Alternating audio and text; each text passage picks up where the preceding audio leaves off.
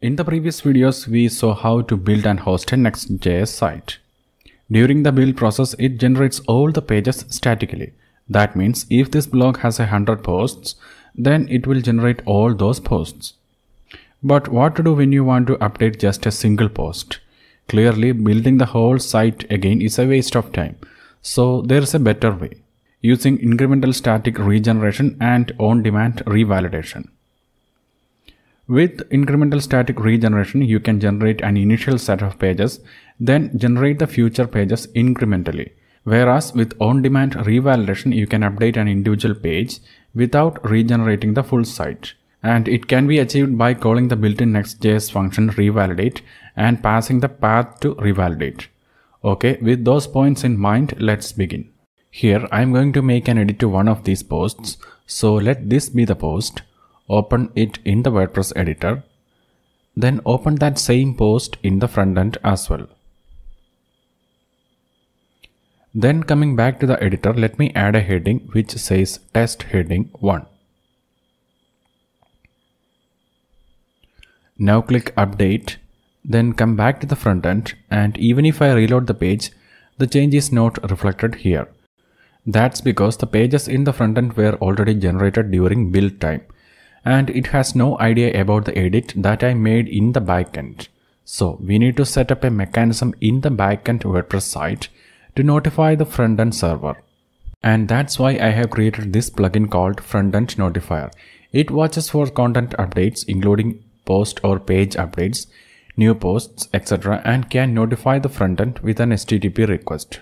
By the way, I coded this plugin on the go, so I don't claim that it's perfect feel free to tinker with the PHP code. At the core of this plugin is a class called frontend notifier. It's a few hundred lines long and it defines a handful of functions including the init function. The init function adds a menu item to the WordPress admin as well as hooks to the WordPress save post action so as to listen for save post events. The next step is installing this plugin on our WordPress site. So going to the readme page, the plugin requires two constants defined in the wp-config.php file in order to work properly. That is the secret key constant and the frontend URL to which it needs to send the request. Okay, in the terminal, I want to connect to the WordPress server using SSH. Now I am connected to the WordPress server. Next, I want to go to the site directory that is var www.html then list the directory and here is the wp-config.php file we want to edit. Open that in the nano editor. Then scroll down to the area where we can define the constants. Right below the line where we added the GraphQL JWT auth secret key constant in the previous video.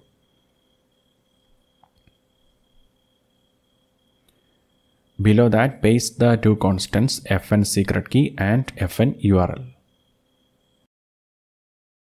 Now modify the values to something unique. The purpose of setting the secret key is to prevent anonymous people from sending requests to our frontend server. Only the WordPress backend API should be able to send requests using this secret key. Also set the URL constant to the Next.js API endpoint URL. Here in this case, coolnomad.abhinavr.com slash API slash revalidate. We will soon create that API endpoint within our Next.js site. Keep note of the secret key somewhere safe. We want to add it to the Next.js site as well. Now save the file and exit the editor. The next step is downloading the plugin and installing it. So download the zip file. I have it already downloaded to my computer so I can just go to the WordPress plugins section and upload it. Choose the file, then install it and activate the plugin.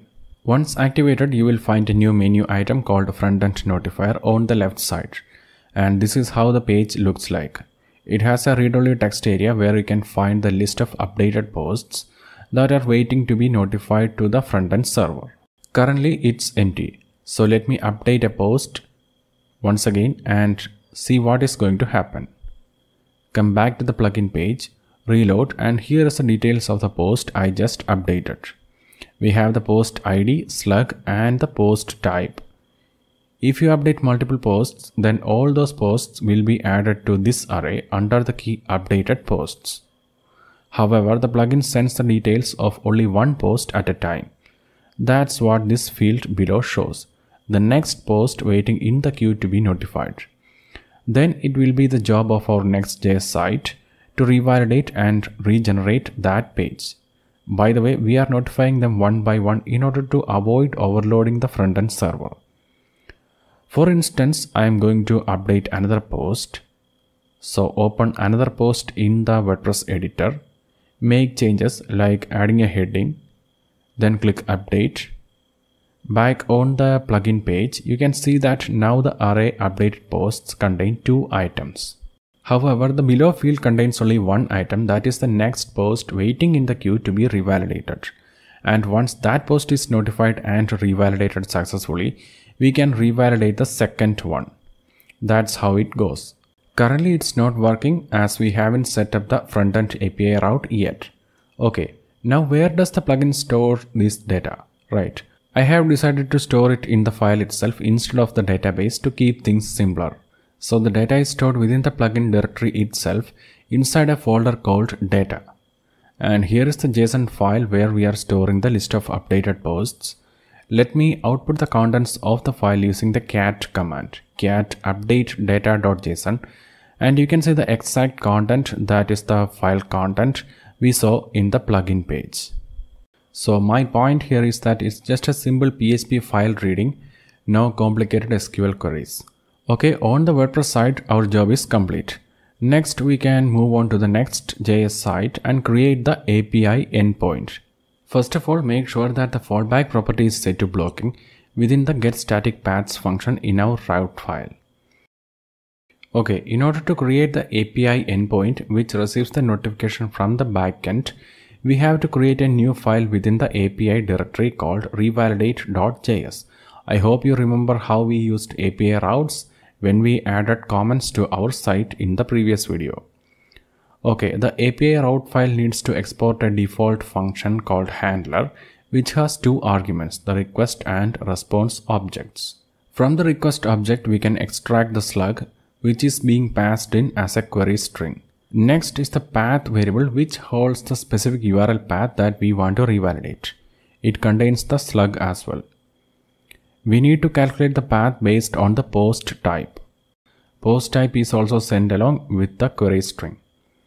If it's a WordPress post, then prepend the word blog in front of the slug. In case you are confused about the structure of the request object, once again let's take a look at the PHP class.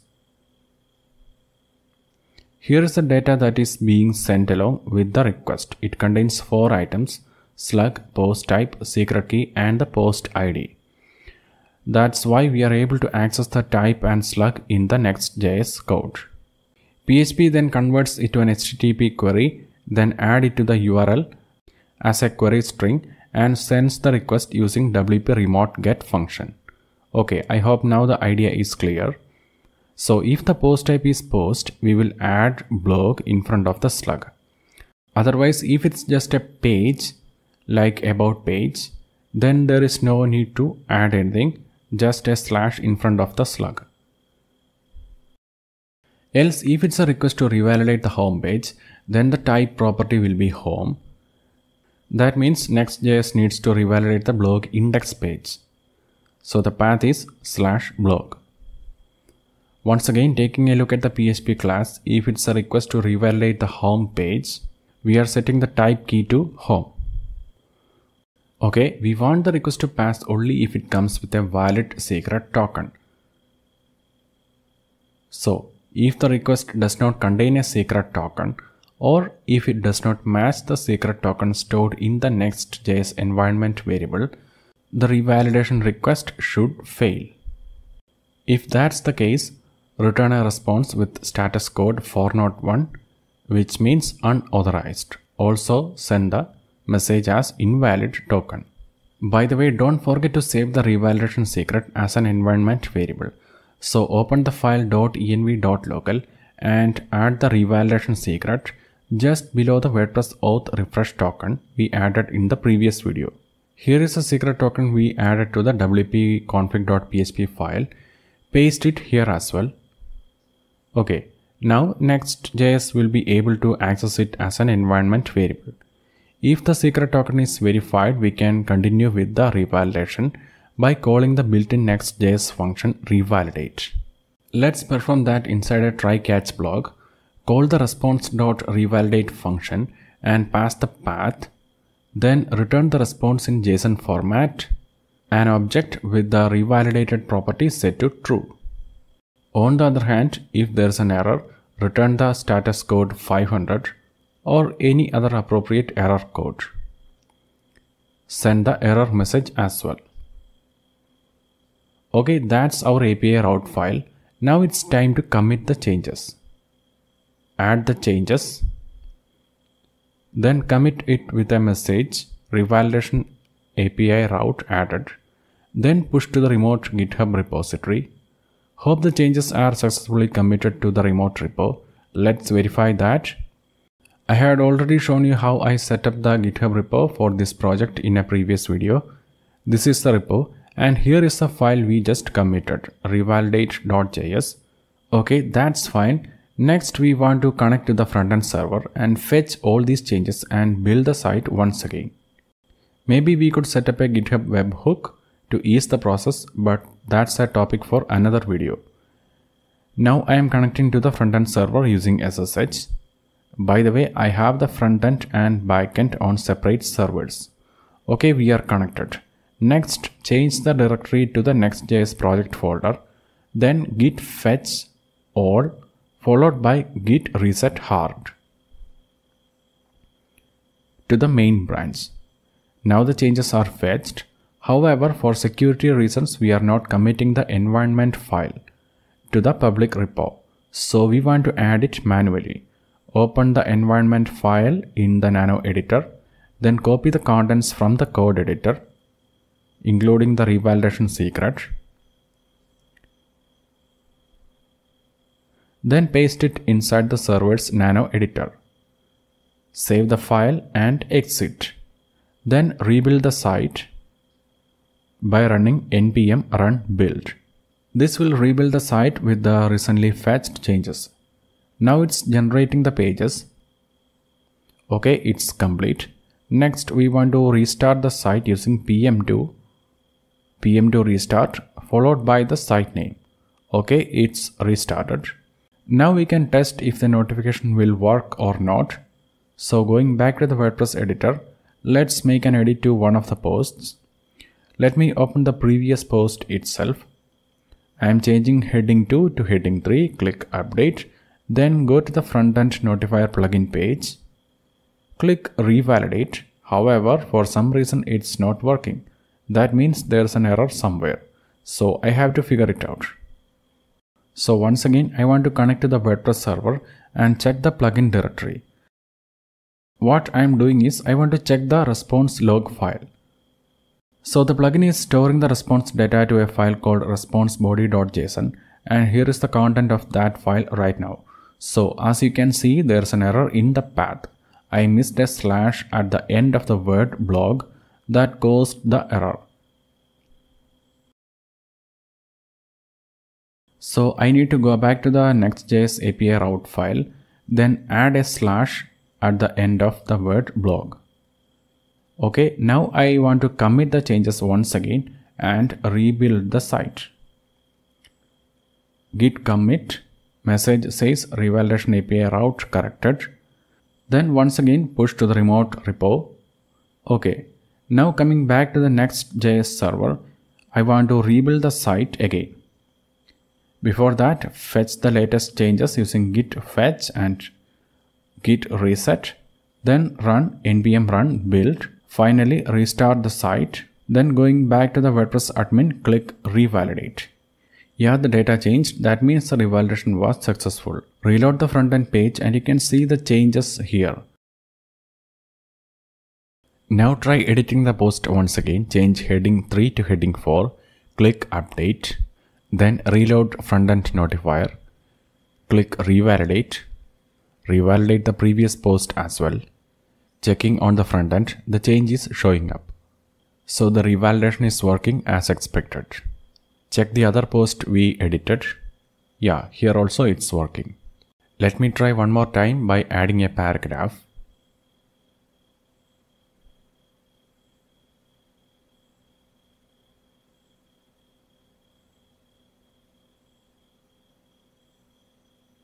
And here is the newly added paragraph.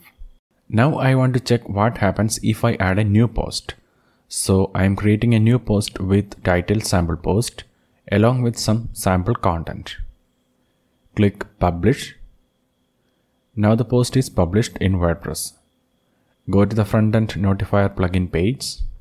Here are the details of the newly added post. Click revalidate as we did with the previous post updates.